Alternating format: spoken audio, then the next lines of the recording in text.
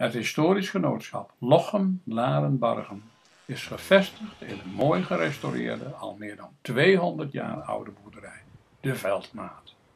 Daar houden we ons bezig met de geschiedenis van Lochem, Laren, Bargen, Zwiep, Kleindochteren, Nettelhorst en Exel. Dat doen we met foto's. Met boeken. Met objecten. Met prenten.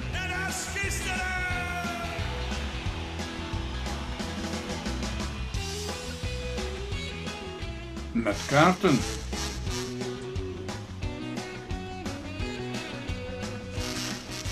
En met schilderijen. En om die schilderijen gaat het nu. Genootschap heeft zelf een aantal schilderijen, maar er zijn 15 schilderijen en prenten bijgekomen van de gemeente Lochem. Want de gemeente Lochem is verhuisd naar een nieuw gemeentehuis en daar was minder ruimte om te opdagen. Ik zit geregeld aan Net als gisteren, ze noemt dat ook wel ene. Net als gisteren.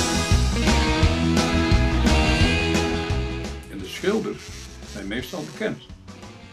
Onder andere meester Prop, ja, de schrijver bekend, maar ook als schilder. Ten Pas, Van Oortmarsen, Zwater, Holterman enzovoort.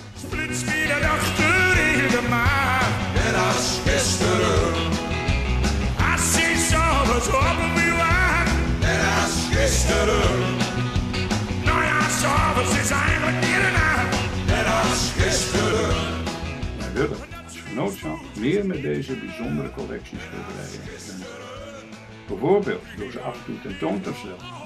En een goede gelegenheid om daarmee te beginnen is Open Monumentendag dit jaar. Maar sommige schilderijen zijn in slechte staat. Een aantal moeten worden schoongemaakt.